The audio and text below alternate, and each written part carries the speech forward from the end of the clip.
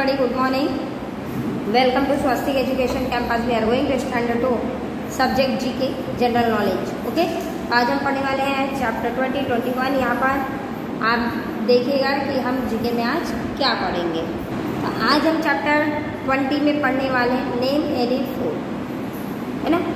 तो four animal name any four का मतलब है किसी भी, जो भी टॉपिक होगा, उसमें फोर एनिमल्स के बारे में, हम कौन से एनिमल्स हैं, उसके बारे में यहाँ पर लिखने वाले हैं। Name any four of the following one has been done for you यहाँ पर एक आपको एग्ज़ाम्पल करके बताया गया है कि कैसे आपको यहाँ पर लिखना है। डोमेस्टिक एनिमल तो डोमेस्टिक एनिमल किसे कहते हैं? वो एनिमल्स जो हमारे घर में रहते हैं जिसको हम पालते हैं और हम उन्हें कुछ देते हैं और बदले में वो भी हमें कुछ देते हैं। ओके? तो देखिए काऊ बफेलो हॉर्स और डॉग तो काऊ जो है, गाय जो हमें दूध देती है हॉर्स जो है जो पालते हैं, वो टांगा गाड़ी बनाते हैं हॉर्स कॉट जिसको बोलते हो जिसमें माल लोडिंग, लोगों को लाने ले जाने की जगह यातायात का साधन है है ना? उसके बाद है बफेलोज जो है बफेलो से भी हमको दूध मिलता है, खेतों में काम आता है। फिर डॉग है डॉग जो हमारे घर की सुरक्षा करता है।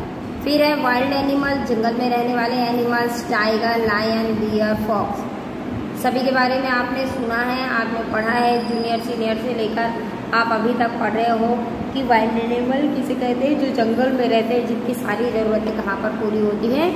जंगल में ही पूरी होती है। जिसे हम जंगली जानवर कहते हैं। फ्लावर्स लोटस रोज लिली और सनफ्लावर तो फ्लावर्स भी आपने बहुत सारे देखे होंगे, जिसमें मैंने कुछ चार के नाम लिखे हुए हैं। लोटस है रोज है लिली और सनफ्लावर है। ये काफ़ी प्रचलित नेम है, इसकी स्पेलिंग लर्न करने में भी आपको इजी रहती है। उसके अलावा आप देखते हो मैरी गोल्ड है डेजी है है ना हिबिस्कस है अलग अलग और बहुत सारे फ्लावर्स हैं।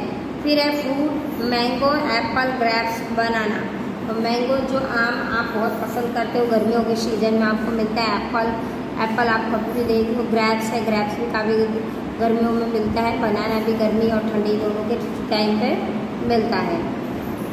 वेजिटेबल्स टोमेटो पोटैटो कैरोट और प्रिंसल तो टोमेटो आप देखते हो रेड कलर का जो होता है और उस सब्जियों में डाला जाता है पोटैटो आलू है ना कैरोट गाजर ब्रिंजल मीन्स बैंगन okay birds crow peacock parrot and eagle crow means कौआ पिकॉक मीन्स मोर पैरोट मीन्स तोता और ईगल मीन्स चील. तो क्रो जो है कौआ आपने देखा है कहाँ कहाँ करता रहता है. पिकॉक जो हमारा नेशनल बर्ड है पैरोट जिसको आप बोलते हो मीठू मीठू तोता, पोपट, जिसको बोलते हैं और ईगल गिर है ना? इंसेक्ट्स इंसेक्ट मतलब छोटे छोटे कीट, पतंगे हाउस फ्लाई एंड बी और बटरफ्लाई हाउस फ्लाई मतलब मक्खी, जिसको आपने देखा एंड चीटी बी मधुमक्खी और बटरफ्लाई तितली।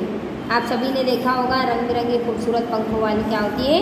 तितली होती है tree mango tree neem tree banyan tree और एप्पल ट्री मैंगो ट्री मतलब आम का पेड़ नीम ट्री मतलब नीम का पेड़ बनियान ट्री मतलब बरगद का पेड़ और एप्पल ट्री मतलब एप्पल का पेड़ ओके चलिए देखते हैं नेक्स्ट फिर है कलर्स कलर्स में red colour pink colour blue colour yellow colour ये चार कलर है। इसके अलावा भी ब्राउन ग्रीन है ना? इंडिगो ये सारे कलर्स और chocolate colour grey colour black white बहुत सारे कलर्स हैं।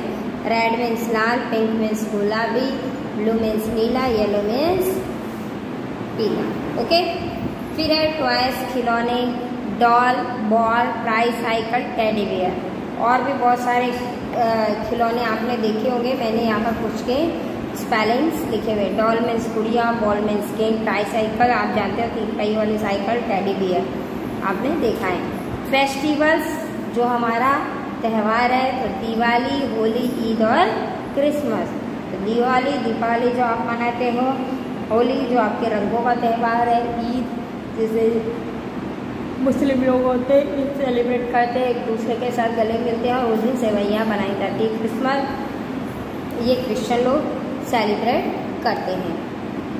Vehicles, bus, scooter, bicycle, train. Bus means bus, scooter means scooter, bicycle means cycle और ट्रेन मीन्स रेलगाड़ी होती है।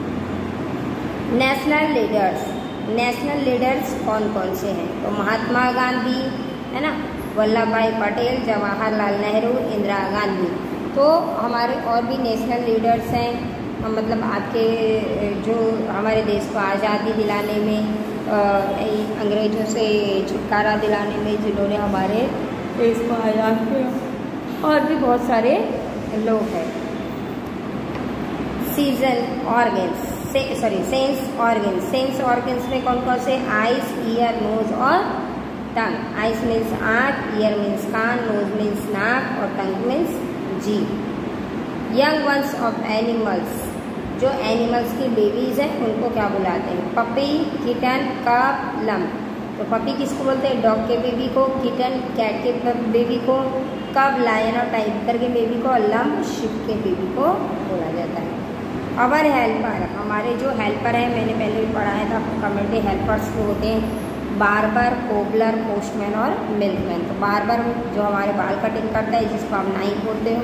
कोबलर जो हमारे जूते बनाता है, पोस्टमैन जो हमारे लेटर्स भेजता है और मिल्कमैन जो हमें घर में दूध देता है।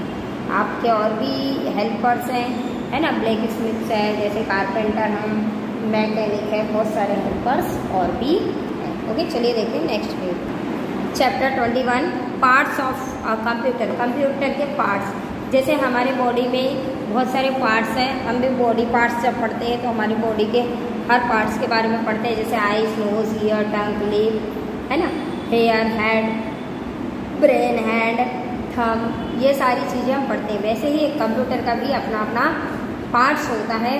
Write name of the computer parts in the blanks यहाँ पर जो ब्लैंक्स दिया गया है, इसमें कंप्यूटर के पार्ट्स के नेम फिल करने choose your answer from the box given below यहाँ पर एक बॉक्स दिया गया है, जिसमें से आपको आंसर चूज़ करना है। तो सबसे पहले देखिए, ये क्या है? स्पीकर तो मैंने इसकी स्पेलिंग क्या लिखी है? स्पीकर स्पीकर का काम क्या है? जो आप गाने चला रहे हो, जो पिक्चर देख रहे हो, जो साउंड चलाना चाहते हो, वो काफ़ी लाउडली ये इसकी वजह से आवाज़ सुनाई देती है। मॉनिटर जो स्क्रीन का भाग होता है, जिसमें हम सारे अपने फाइल्स रखते हैं, अपने आइकन्स रखते हैं ओके सीपीयू सीपीयू के बिना कोई भी काम नहीं होता है यहाँ पर। सीपीयू में सारी वायरिंग जो टच करते हो आप। और सीपीयू में ही सी पी में ही हार्ड डिस्क लगी होगी, जिसकी वजह से हमारा कंप्यूटर चलता है। बैक कैमरा जो आप पता है बैक कैम का मतलब होता है, जो आप आजकल देखते हो सीसीटीवी फुटेज होते हैं, जिसको आप कहीं भी दुकानों में, पुलिस थानों में, रोड पे सभी जगह पर लगा होता है तो ये घूम घूम कर क्या करता है? फ़ोटो खींचने का काम करता है। कीबोर्ड कीबोर्ड आपको पता है कि कंप्यूटर पे अटैच रहता है जिससे हम वर्ड्स को टाइप कर सकते हैं। माउस माउस जिसे हम कोई भी प्रोग्राम में जाने की हेल्प इससे मिलती है। फिर सीडी सीडी प्लेयर में जैसे हमारे मॉनिटर पर बहुत सारे आइकन्स या बहुत सारे प्रोग्राम भर गए हैं तो उसे हमें एक जगह स्टोर करके रखने के लिए किसका यूज़ करते हैं? सीडी का। स्कैनर सपोज़ आपके पास कोई फ़ोटो है जिसकी डुप्लीकेट निकालनी है, पर वो पर्सन नहीं है या एक्सवाइजेड कोई भी प्रॉब्लम आ गई, वो यहाँ पर नहीं रहता है तो उस सिचुएशन में हम उस फ़ोटो को स्कैनिंग करके कंप्यूटर में लोड करके उसको न्यू बनाया जा सकता है। प्रिंटर जो आप कंप्यूटर पे कोई भी प्रोग्राम चालू किए और जिसको पेपर पर आप प्रिंट करके हार्ड कॉपी में चाहिए तो आपको प्रिंट करके मिलती है। ये काम कौन करता है? प्रिंटर तो यहाँ पर आपका chapter twenty chapter twenty one दोनों कंप्लीट होता है। आपको सभी स्पेलिंग को अच्छे से लर्न करना है। आपकी नोटबुक में राइट डाउन करना है। Thank you